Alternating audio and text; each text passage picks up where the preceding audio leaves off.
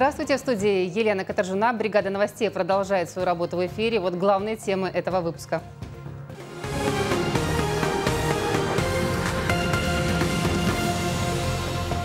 Реликвия вновь на своем месте. Новгородские полицейские вернули в Валдайский Иверский монастырь икону, подаренную президентом Владимиром Путиным.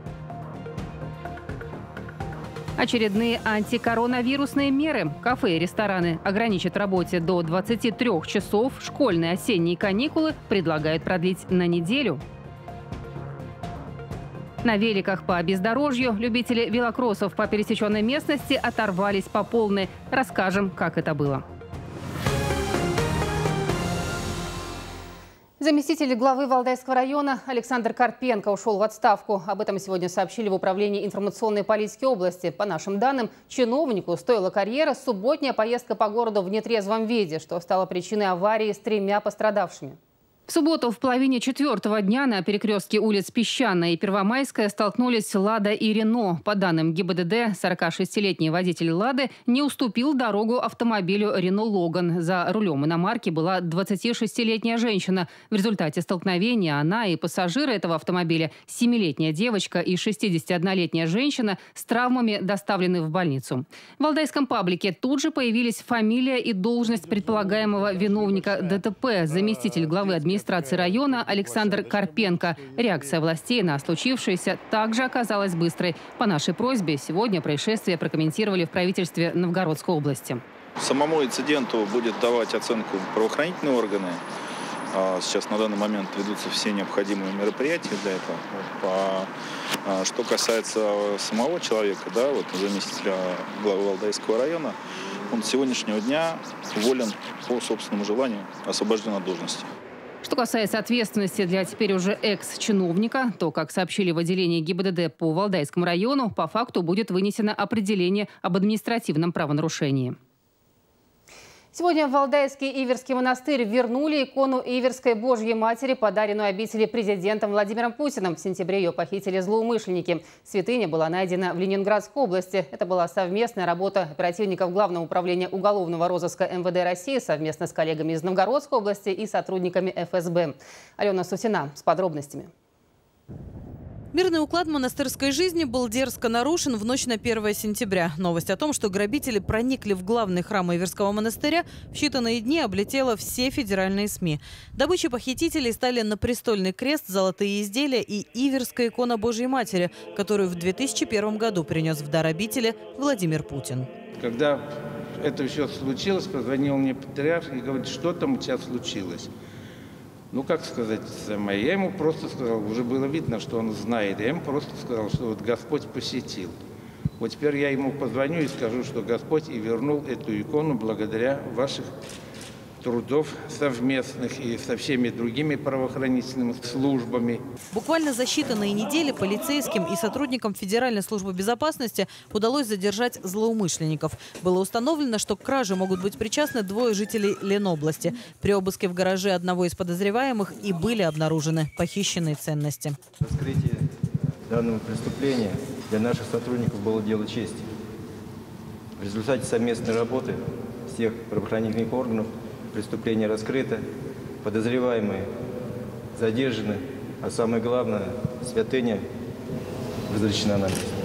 Сегодня Иверская икона Божьей Матери вернулась в обитель на радость прихожанам и священнослужителям. На престольный крест злоумышленниками был поврежден. Его передадут в Иверский монастырь сразу после восстановления. Слов нету. Вот все были так это, потрясены событием. Просто такая дерзость дозволено было людьми просто уму непостижимо. Очень все расстроены, очень все растроганы. Митрополит Новгородский и Старорусский Лев заверил сотрудников полиции, что отныне их имена всегда будут звучать в молитвах послушников и вручил им архиерейские грамоты. Иверская икона Божьей Матери займет свое законное место в Успенском соборе, и уже сегодня вновь к ней потянутся сотни прихожан и туристов.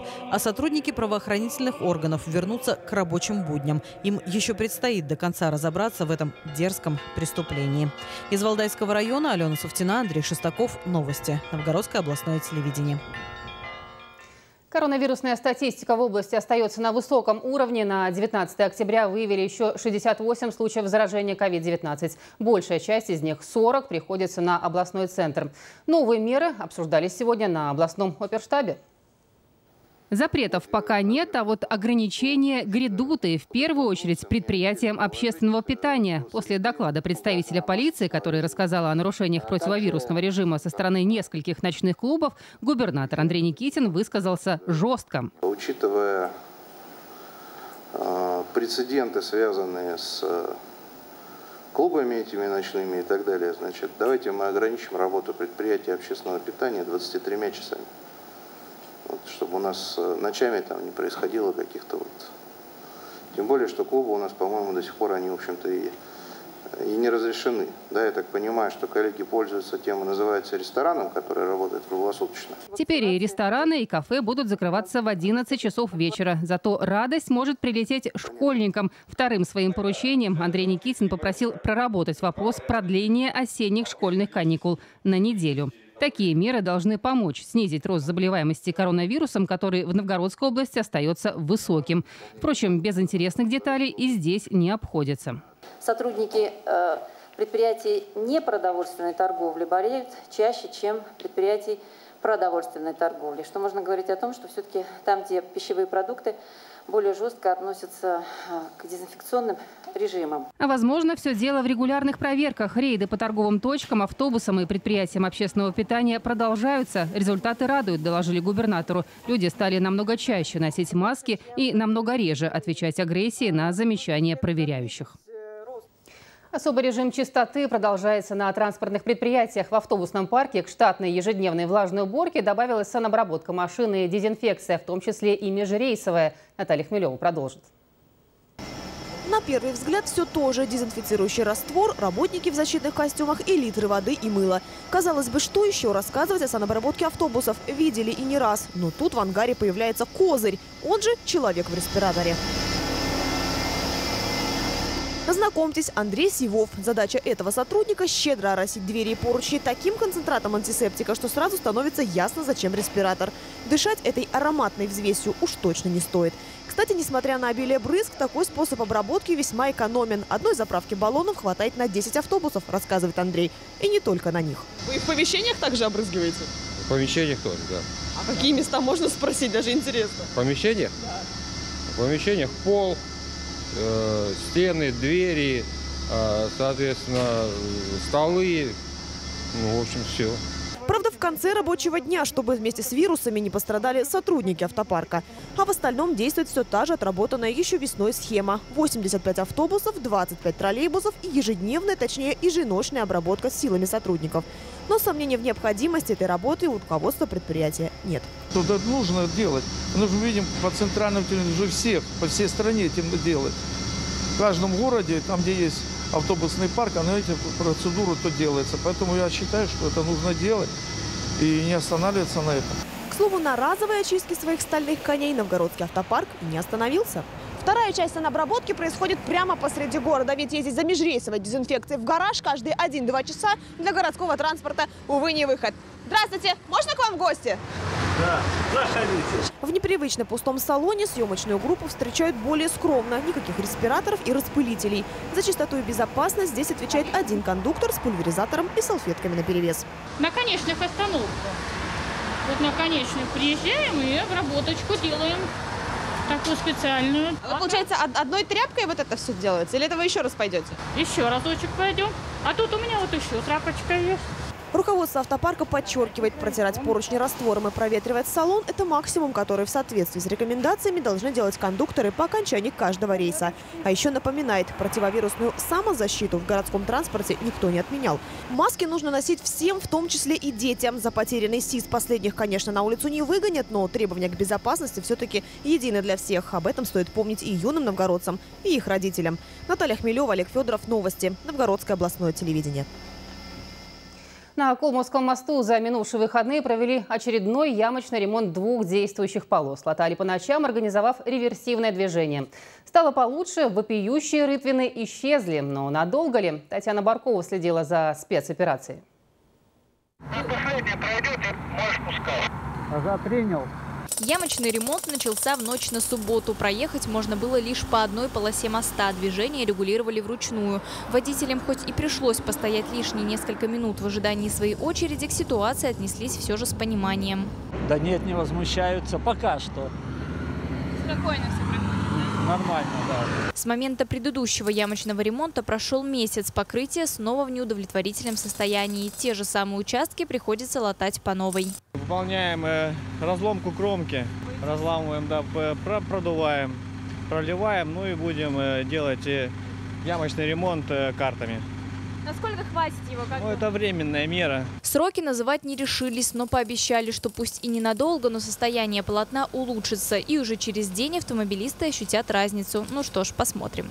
Понедельник, 8 утра, час пик. Новгородцы торопятся на работу или учебу. Пробка растянулась аж до кольца Державина. Наша съемочная группа решила присоединиться к колонии, следующей по мосту, и почувствовать на себе, действительно ли стало лучше. Проехать без тряски все равно нереально, но теперь передвигаться по мосту можно быстрее. И даже в такой, казалось бы, огромной пробке водители не стоят больше 5-10 минут. У автомобилистов мнения о качестве ямочного ремонта разделились. Ну, получше немного. Чувствуется пробка намного меньше. Да в одном месте положена одна карта и все, как было, так и есть. Лучше или нет, а пока все равно придется довольствоваться двумя полосами и ямочным ремонтом. Как рассказал заместитель председателя правительства Станислав Шульцев в главном эфире нашего канала, Министерство транспорта выявило, что нижний слой асфальта на перекрытой половине моста некачественный. Подрядчик же с этим не согласен, идут экспертизы. Здесь у нас идут э, сейчас э, баталии с подрядной организацией, он привлекает профессорский состав, мы привлекаем свои лаборатории. Общем, э, пытаемся доказать. А пока стороны не придут к единому мнению и ремонт не завершится, новгородцам так и придется периодически трястись, проезжая по ямам Колмовского моста. Татьяна Баркова, Андрей Константинов, Олег Федоров. Новости. Новгородское областное телевидение. В Шимске открыта новая многофункциональная спортивная площадка. Она построена в рамках благотворительного проекта «Газпром детям». На новом спортивном объекте поселка уже состоялся турнир по мини-футболу. Теперь, как отметил в ходе церемонии губернатор Андрей Никитин, очередь за ФОКом. Репортаж Арины Аксеновой. Эта площадка 4 в одном. На поле размером 40 на 20 метров можно играть в волейбол, баскетбол и мини-футбол. А с приходом устойчивых морозов все это превращается в полноценную хоккейную коробку. Спортивная жизнь Шимска, безусловно, должна заиграть новыми красками. И это только начало. Мы на этом точно не остановимся, мы пойдем дальше. И следующий шаг – это полноценный физкультурно-оздоровительный комплекс, который мы должны построить в Шимском районе. Сейчас идет проектирование. Я рад, что у нас есть возможность двигаться вперед. Я рад, что есть возможность благодаря «Газпрому» в данной ситуации делать какие-то хорошие, правильные вещи для жителей Новгородской области. Как только Новгородская область подключилась к благотворительному проекту «Газпром детям», Шимский район принял в нем участие одним из первых. Всего в этом году в области планировалось открыть семь подобных спортивных сооружений. Все семь спортивных площадок реализованы в кратчайшие сроки и введены в эксплуатацию в текущем году. Пользуясь случаем, я хочу вручить этот памятный ключ как символ открытия новой площадки директору Центра дополнительного образования Галине Николаевны Патиной.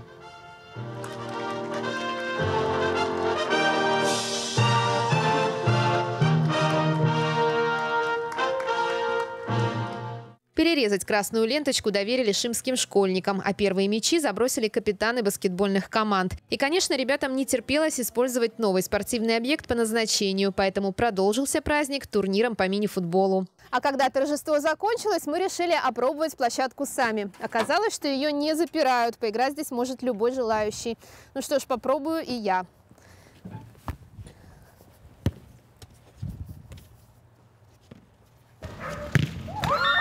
Арина Аксенова, Андрей Шестаков. Новости. Новгородское областное телевидение. В ходе визита в Шимский район губернатор Андрей Никитин проинспектировал ремонт дороги по направлению Новгород-Псков-Феофилова-Пустынь. Особенно обновление требовал проблемный участок от поворота на Сальцы в сторону Уторгаши через Медведь.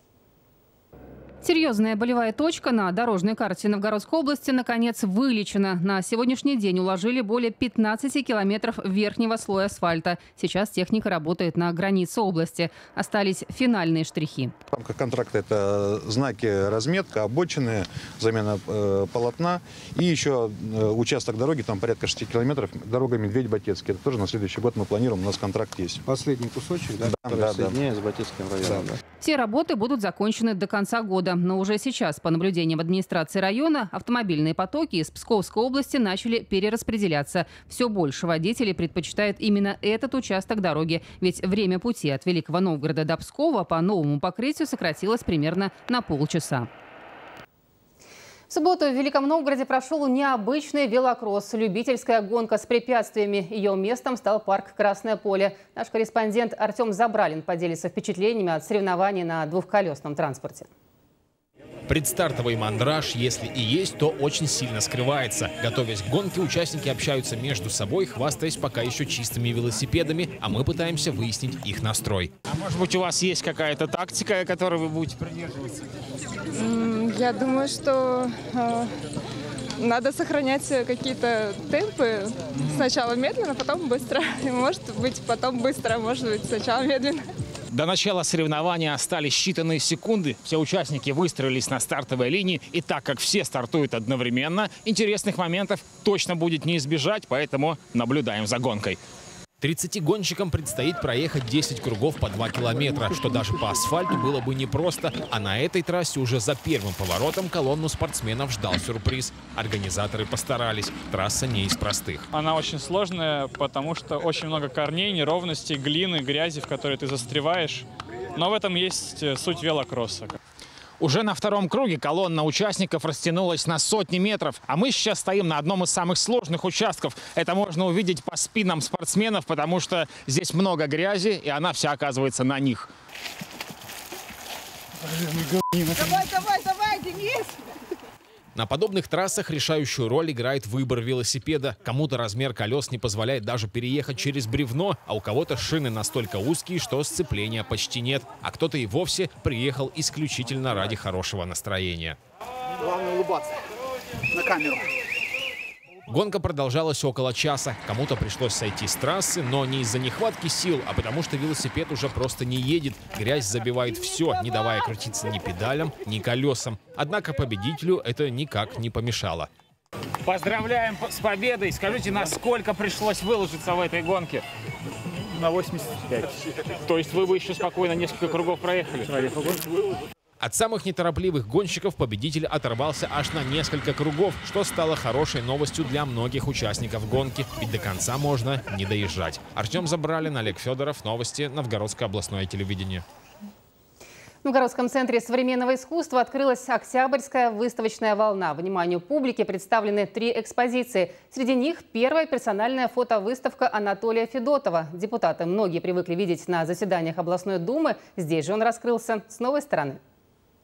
Анатолий Федотов говорит, что главное в фотографии – поймать настроение, и ловит он его в Новгородской области. Все представленные на выставке пейзажи запечатлены в разных уголках региона, поэтому многим они могут показаться знакомыми. Я начал очень давно заниматься фотографией. Мне фотоаппарат подарили в первом классе.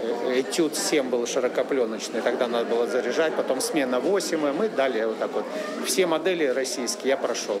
Необычное увлечение областного депутата не оставило равнодушными многих политиков и известных личностей. С открытием первой выставки Анатолия Федотова поздравила Елена Писарева и рассказала, что уже давно следит за его работами в социальных сетях и обязательно ставит лайки. Также председатель Новгородской областной думы отметила, что увлечение фотографией и внимательность к деталям может положительно отразиться и на политической деятельности. Любое творчество говорит о внимании человека. А ведь непосредственно бюджетный комитет и деятельность депутата – это внимание. Это внимание к людям, это внимание увидеть в каждом человеке его душу, услышать то, что он хочет именно вот услышать, понять его. В рамках выставочной волны в культурном центре «Диалог» также открылись еще две экспозиции. Одна из них под названием «Нонконформизм» и «Космос детства». Весь разговор здесь идет о поиске космоса, который, по мнению авторов, располагается в детях. То есть взрослый человек, если он сохранил в себе ребенка, это хороший человек. И поэтому космос детства – это и детство, и связь вот с какими-то сферами, которые нам с вами становятся недоступны. Название «Космос детства» связано с одноименной книгой русского философа Юрия Линника, которому и посвящены работы. Посетить все три выставки можно до середины ноября. К этой минуте все. Напомню, что поделиться интересной информацией вы всегда можете по телефону нашей редакции 70 30 03. Темы для сюжетов и предложения мы также принимаем в соцсетях, а все материалы и выпуски оперативно появляются на нашем YouTube-канале «Новгород ТВ News». Далее о погоде на вторник, 20 октября. Я прощаюсь с вами. Хорошего вечера и до встречи.